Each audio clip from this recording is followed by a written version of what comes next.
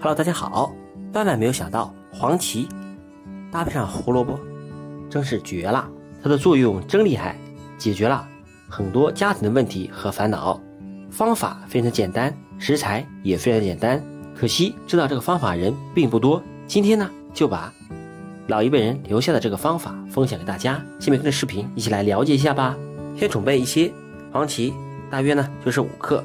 把这黄芪呢放到水中。给它清洗一下表面的灰尘，简单清洗一下就可以。黄芪不要在水中清洗太久，否则它的营养都会流失。清洗好以后，把黄芪我们捞出来放到一旁。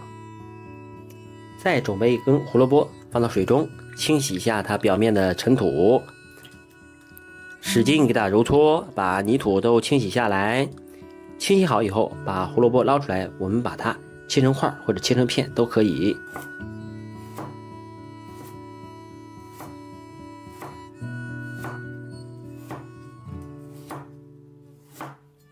切好的胡萝卜块，我们放入到一个盆子中，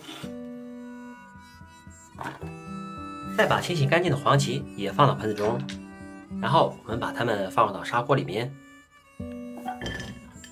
加入清水，开火，先把它们煮开。煮开以后，盖上砂锅盖，转成最小火熬煮二十分钟。时间到，打开砂锅。我们用勺子把里面的汤汁舀出来，里面的胡萝卜还有我们的黄芪不要丢，还能重复煮制两到三次，放到不烫嘴的时候就可以饮用了。每天来这么一碗，连续喝上一一段时间，你就会发现有神奇的变化。您别看它个食材方法超级的简单，其实它的作用一点都不简单，里边包含了我们老一辈人的智慧与结晶。